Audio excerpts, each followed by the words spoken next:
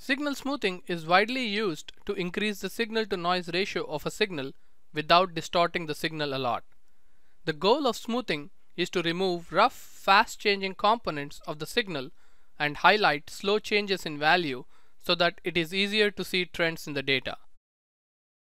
Use a filter to smooth your signal. These are some different filters available to perform signal smoothing. Moving average filter, Savitzky-Golay filter, and median filter. In this video, we will explore how to smooth your signal using moving average filter and Savitzky-Golay filter.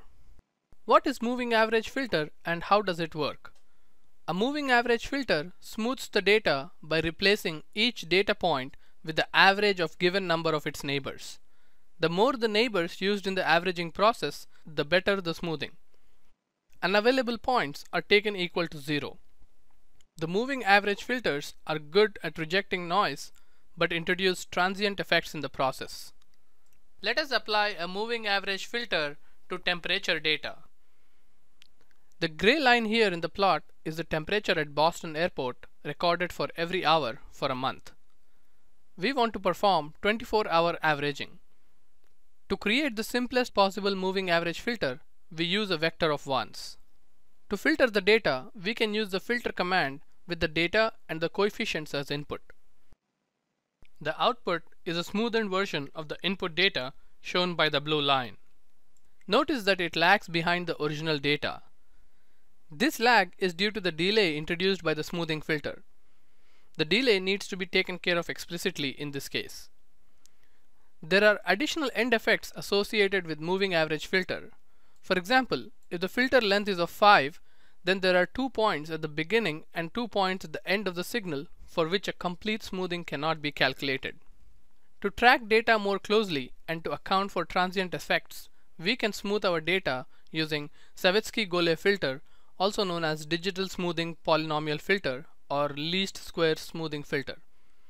Savitzky-Golay filter performs polynomial fitting to segments of data known as frames.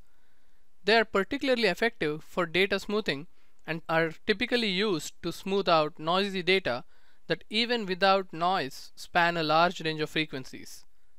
Savitzky-Golay filters tend to preserve the high frequency components of the data while smoothing it. The Savitzky-Golay technique is available in MATLAB as a function sGolayFilt.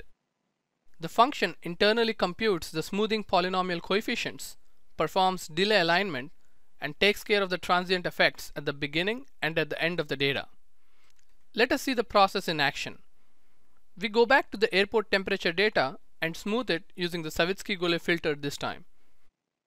We fit third order and fourth order polynomials on frames of 7 points. The third order smoothing appears in blue and the fourth order smoothing appears in magenta. You can clearly see how the Savitzky-Golay filter smooths the data all the sudden changes in the original data, that is the one in gray, get smoothed out. The function also removes the delay and tracks the original data more closely than the moving average filter. To learn more, please check out signal smoothing example and other examples in the signal processing toolbox documentation.